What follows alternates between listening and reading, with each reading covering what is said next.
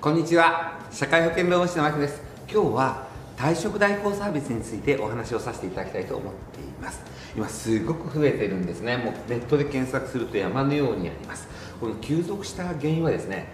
ちょっと退職をですね申し出たり退職の交渉をしたりするのが面倒くさい。コミュニケーションがね苦手な方が増えてるんです。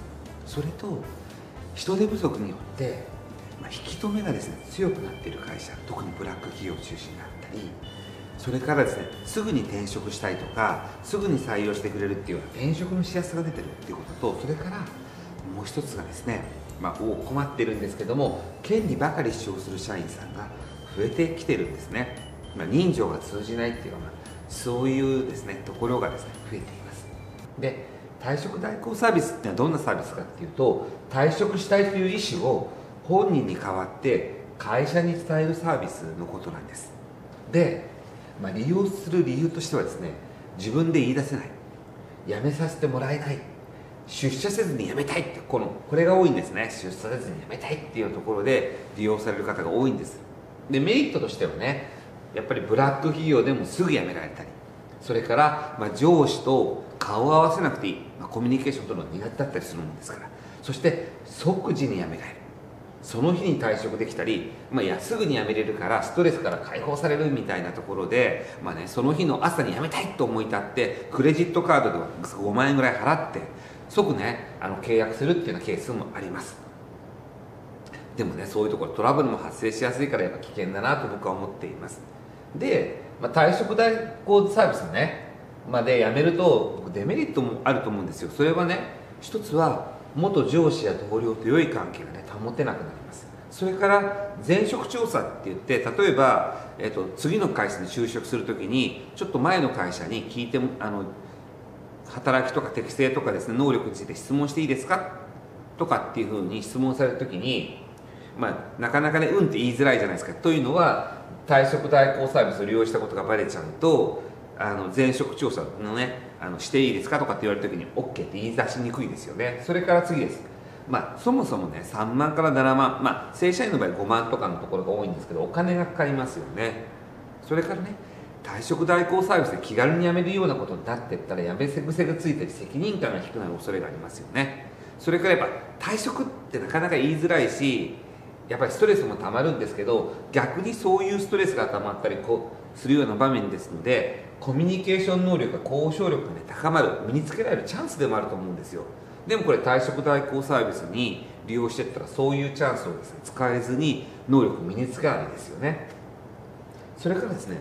やっぱり悪質な退職代行サービスを選ぶとトラブルに巻き込まれる恐れがねやっぱり僕あると思うんです。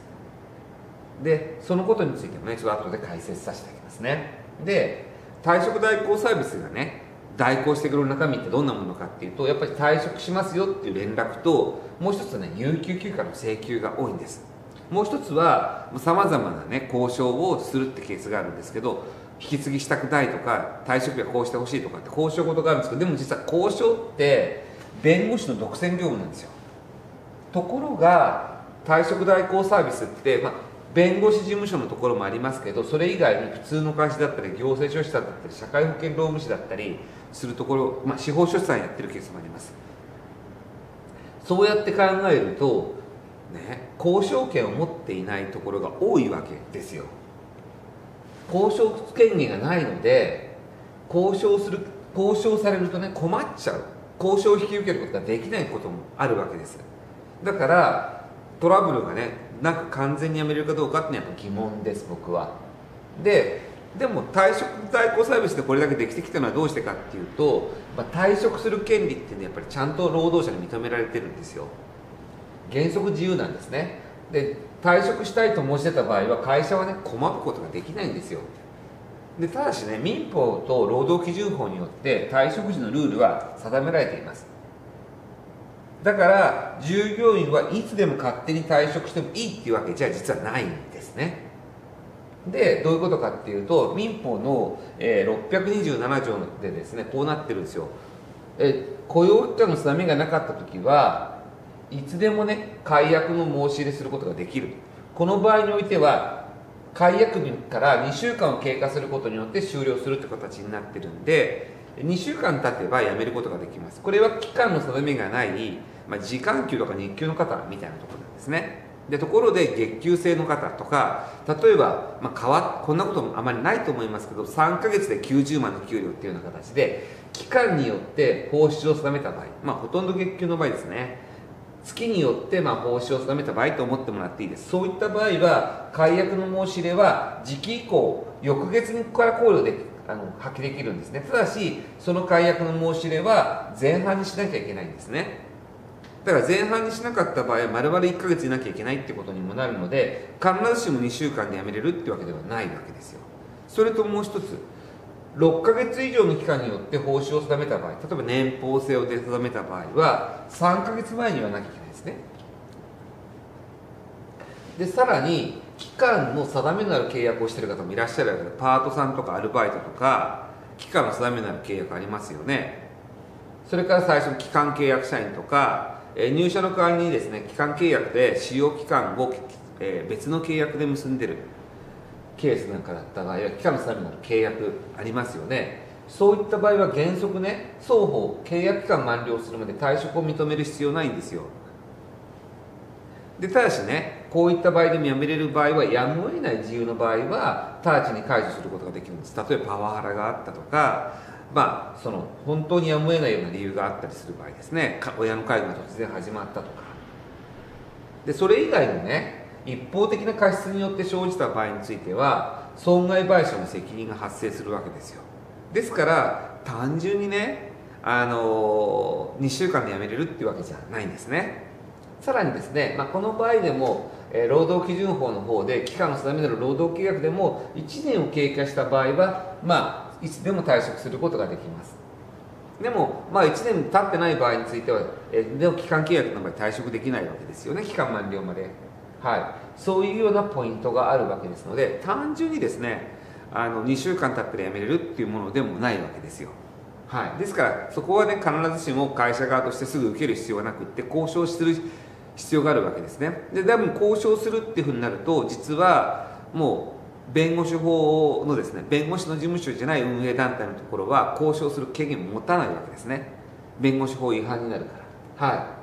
い。ということでちゃんとそういうことも踏まえて就業規則をですね、えー、対あの対抗業者あの代行業者が来た場合どうするかっていうようなことを改定していく必要があるかもしれませんし雇用期間のですね、えー、中身も考えておかなきゃいけないかもしれません。それからですね、えー、そういうようなちゃんと、えー、期間満了を待たずにですね辞めた場合は損害賠償の請求もできますしまあ、引き継ぎしなかったとかっていう形もあるんでその引き継ぎ条項なんかも就業規則に入れとく必要があります。でただね一番重要なのは僕は定着率のアップだと思ってます。まあ一番重要なのはねやっぱり辞めたくないような会社づくり。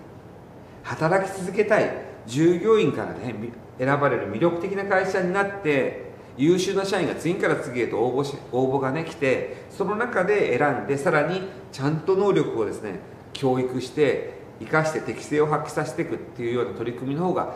一番儲かると思うんですね会社としては。でそこで考えてもらいたいことがあるんですよ。退職代行サービスをねもし利用したっていうような方が出てきた場合はどうしてその人が自ら退職の申し出をねしなかったのか。だって5万とか払って退職するわけでしょ？正社員だったら。申し出しづらい原因はなかったんだろうか。でなんで退職代行サービスを利用したのか？隠れたパワハラとかハラスメントのねところがなかったのか。そこら辺ね一度人事部とか人や社長さんは考えてみなきゃいけないですね。社労士さんもそうです。でそこら辺を見てやっぱり定着率とか考えていかなきゃいけないんですけどそこで重要なことは何かっていうと採用選考育成マネジメントにですね問題はなかったのか見直してはなかったのかってことをですねやっぱり考えていい会社を作っていく。僕それが一番重要と思うんですね。だからそういうような採用選考マネジメントをですねきっちりやっていってそもそもね退職代行サービスをまあ利用せざるようなないような状況を作り出しちゃいけないですし僕は、まあ、偏見もあるかもしれませんけど退職代行サービスを利用するような人は、まあ、採用すべきではないと思っています。だってコミュニケーション能力低かったり言い出しにくかったりする人じゃないですか。だからそういったところの採用選考やその後の育成定着に問題が僕はあるっていうふうに思ってそこのね解決を会社でやっていくってことがいい会社魅力的な会社になることだし社長さんが儲かる。人事部がストレスなくなる会社になる一歩だと思ってますんで、まあ、今日はですね退職代行サービスについてお話しさせていただきました。今日もね最後までご清聴いただきましてありがとうございます。ロームはですね、え人事労務で日本を元気にしたいということで、えいろんなですね情報を提供させていただいています。もしよかったらねチャンネル登録とかしていただけると嬉しいです。じゃあまた次回の動画でお会いいたしましょう。